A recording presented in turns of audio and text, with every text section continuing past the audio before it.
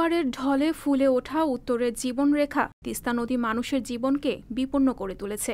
গত এক সপ্তাহ ধরে সমানতালে বইছে এই নদী, যার কারণে অস্তিত্বের সংকটে পড়েছে চরাঞ্চল সহ নদী তীরবর্তী এলাকার মানুষ। আষাঢ় শ্রাবণে এ অঞ্চলে খুব একটা বৃষ্টি হয়নি। এর পরেও তিস্তার রূপ হয়েছে আগ্রাসী। দিন দিন বাড়ছে নদীর প্রশস্ততা। স্রোতের টানে ভাঙছে মানুষের কপাল। নদীর ভাঙন ক্রমেই প্রবল থেকে প্রবলতর হচ্ছে। নিমিষেই বিলীন হয়ে যাচ্ছে ঘরবাড়ি ব্যবসা প্রতিষ্ঠান, জমিজমা সহ সবকিছু। ফলে দিশাহারা মানুষ অসহায়ের মতো অপেক্ষা করছে নিউতিকে ভর করে। এরই মধ্যে গিলে খেয়েছে লালমনিরহাটের ডাওয়াবাড়ি গ্রামসহ রংপুরের গঙ্গাচড়ার পাঁচশো বসত বাড়ি। মোটামুটি পঞ্চাশ একান্ন ঘর এখানে ছিলাম। বেশ মিল মোহাব্বতে। এখন যে এই নদীর ভাঙনে কে কোথায় যাচ্ছে বলা যায় না। যায় যেখানে জায়গা পাইছে আর কি কোনো রকম। এই ঘর বাড়ি থামার জন্য। তাই সেই জায়গায় যাইছে। এখন খুব দুঃখ, কষ্ট। এই তো দেখা যাচ্ছে না নৌকা তাও পাওয়া যায় না। যখন বাড়ি ভাঙন শুরু হয়ে যায়, ঘর যে নৌকা চলবো নৌকাটাও পাওয়া যায় না অনেক সময়। কয় কয়জনকার বাড়িটা নেইবে? খুব দুঃখ, কষ্ট মানে এই বছরে নয়, প্রত্যেক বছরে। মানে এক জায়গায় দুই চার বছর যে খারাপও বিশ পঁচিশ ঘর এরকমের হয় না, যায় না থাকা। এই গেল বছরে এখানে পঞ্চাশ একান্ন ঘর ছিলাম। বেশ, একটা বছর কাটাইলাম। মনে হয় যে আল্লাহ ভালোভাবে থইবে। তো এখন দেখি এক বছর হয় নেই। এখানে শেষ।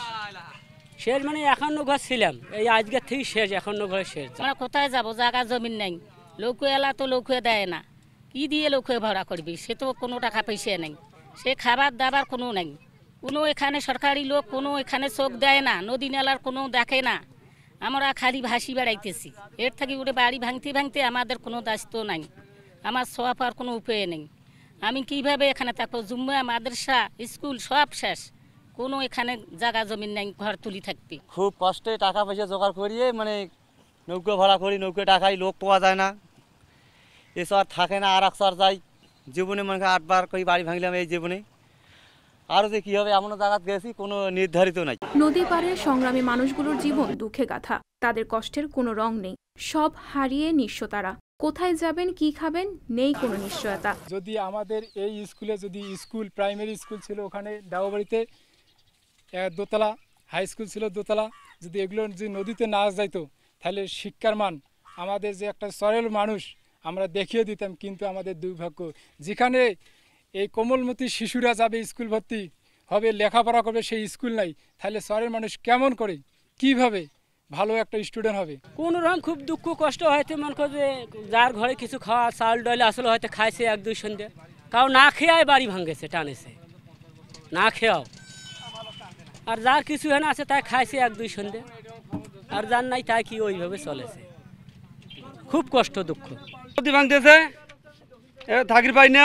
এখন মরকান যে এমন জায়গায় যাইছে, উড়ে যে কী হবে তার বলা যায় না। এখন বাড়ি ঘর মরকান যে টাকা পয়সা নাই, লোকও সংগ্রহ করছি ওতে, এখন কিছু টাকা বাকি তুছি পরে দেব। কিছু ব্যবস্থা করি মনে দশ দিবে পরে। লোক গেলা ওতে মরকান যে নিয়ে আসছে, মাইসের কষ্ট সহ্য করে না পায়া। আবার ছুয়াত বহু গেল মরকান যে আট নয়বার বাড়ি ভাঙলাম এই মা, এই বাড়িটা মনে করেন শেষ যাচ্ছে আজকে চর থেকেই। অনেক বাড়ি ছিল অন্তত সাড়ে চারশো পরিবার ছিল, এখন সবগুলো বাড়ি ভাঙ্গিয়ে অন্য জায়গায় যাচ্ছে, আট নয়বার দশবার বাড়ি ভাঙা এলো আমার বয়স কিন্তু একাশি চলছে, আমি সব খবর জানি। তবে এই লোকগুলোর প্রতি দেখিয়ে আমরা কিন্তু দেখি আমাদের চোখে পানি আছে। যে এত মিল ছিল আমাদের সাথে, আমরা আমরা, আমি এরশাদের আমল থেকে ইলেকশন করতেছি ইনশাল্লাহ আমার ভাগ্নের মেম্বার হয়েছে আমার ওয়াইফ মেম্বার তো এরা আসি, আমাদের এমনি দুঃখ লাগে, কোনো দিতে পারি না। আসি কি করি? আসি, ঘুরি যাই, দেখাশোনা করি, কিন্তু কোনো কিছু দিতে পারি না। বর্তমান এদের কিন্তু, বর্তমান পরিস্থিতি যদি কোথাও না পাইতে বিদেশ, বাইরে যাওয়া লাগবে কামলা দিয়ে। কামলা দিয়ে তো হবে না, এতগুলো লোক, সব শেষ হয়ে গেলো, ধ্বংস হয়ে গেলো এই বাড়িঘর দিয়ে এই এতগুলো জমি আবাদ করি, কিছু মানুষের জমি আবাদ করি, খায়, তাও তো নদী গেলো এখন যে জায়গায় বাড়ি করছে, ও জায়গায় টিকতে পারে কিনি আল্লাহ পাক ছাড়া কেউ জানে না। এই দুঃসময়ে অসহায় মানুষগুলোর পাশে দাঁড়ানোর কেউ থাকে না। তাই নদী শাসন ও ঠিকানা হারা মানুষদের পুনর্বাসনের দাবি সংগ্রাম পরিষদ নেতাদের। আর বন্যা মোকাবেলা সহ ভাঙন প্রতিরোধে সব ধরনের ব্যবস্থার কথা জানিয়েছে পানি উন্নয়ন বোর্ড। তিস্তায় কিন্তু সেরকম এখন পর্যন্ত সেই ডেঞ্জার লেভেল হয়নি।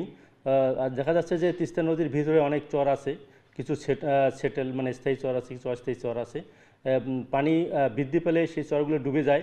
তো এখন পর্যন্ত সেরকম চর ডুবে যায়নি, তবে কিছু ভাঙ্গন পরিলক্ষিত হয়েছে। চরের ভাঙ্গন ভাঙ্গনগুলো আমরা মেরামতের প্রয়োজনীয় ব্যবস্থা গ্রহণ করেছি। এখন আসু যে বিষয়টা দরকার, এই যে নদী ভাঙ্গন কবলিত মানুষগুলোর পুনর্বাসনের দরকার, তারা কোথায় বাড়ি করছে, কি খাচ্ছে?